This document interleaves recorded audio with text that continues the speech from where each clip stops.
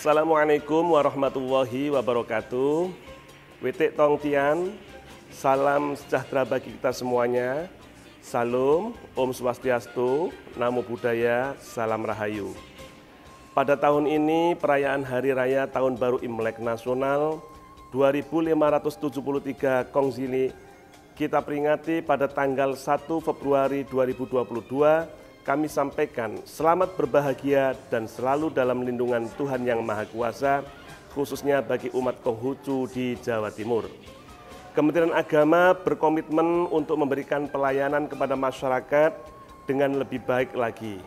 Peringatan Tahun Baru Imlek merupakan momentum yang tepat untuk mendorong segenap umat Konghucu dan anggota masyarakat lainnya untuk memuliakan Tuhan, mengasihi sesama manusia, dan tidak berhenti hanya untuk kepentingan diri sendiri saja, melainkan juga kepedulian kepada sesama.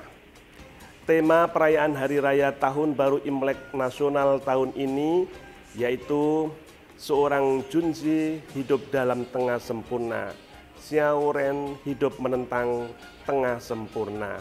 Sejalan dengan komitmen Kementerian Agama untuk menjadikan tahun 2022 sebagai tahun toleransi karena itu, perayaan Tahun Baru Imlek ini menjadi momentum yang tepat untuk mengokohkan persatuan dan kesatuan NKRI, kekuatan, keberanian, percaya diri, dan semangat memerangi kejahatan di tahun macan harus kita tunjukkan untuk menyelesaikan tantangan-tantangan yang ada.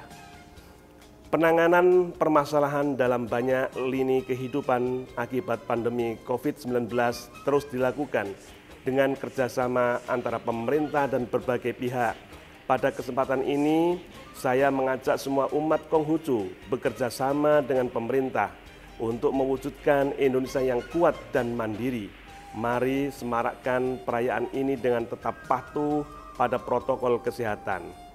Saya Husnul Marom, Kepala Kantor Wilayah Kementerian Agama Provinsi Jawa Timur mengucapkan Selamat Tahun Baru Imlek 2573 Kongsli Gongsi Fatsai Witik Tongtian Wassalamualaikum warahmatullahi wabarakatuh. Salam Om Santi Santi Santi Om. Namo Buddhaya. Salam sejahtera, salam rahayu.